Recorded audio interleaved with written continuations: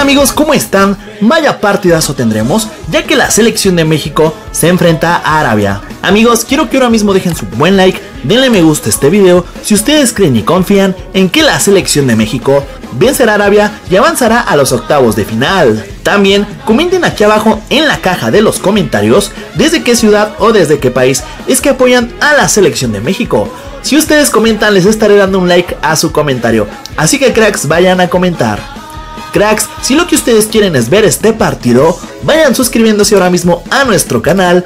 Y es que amigos, como sabemos, en algunas ciudades y en algunos países, este partidazo no va a ser transmitido. Así que si ustedes no se lo quieren perder por nada del mundo, vayan suscribiéndose ahora mismo a nuestro canal para que ustedes no se pierdan de este partidazo México contra Arabia.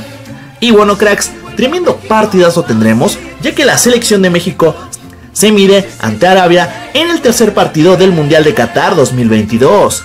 Así es amigos, vaya partidazo tendremos. Por cierto, dará inicio a la una de la tarde para que lo vayan anotando y ustedes no se lo pierdan. Cracks, como recordaremos, la selección de México, los dirigidos por el Tata Martino, vienen de caer ante la selección de Argentina, 2 a 0.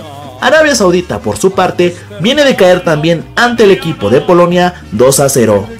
Amigos, en la tabla general tenemos a la selección de Polonia en la primera posición. En la segunda se encuentra Argentina con 3, Arabia con 3 y en el fondo México se encuentra con un punto. Amigos, el marcador que a México le conviene es que la selección argentina pierda ante Polonia y que la selección de México saque los 3 puntos o al menos empate ante la selección de Arabia. Y es por ello amigos que el Tata Martino se juega el Mundial y en esta ocasión convocará desde un inicio a Funes Mori y a Edson Álvarez para que este partido vaya ofensivamente y saquemos los 3 puntos.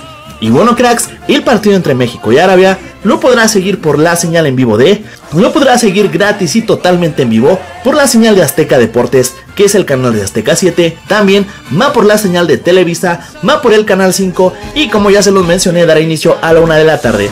Cracks, hemos llegado al final de este video, no olviden dejar su buen like y sin más que agregar nos vemos para un próximo video.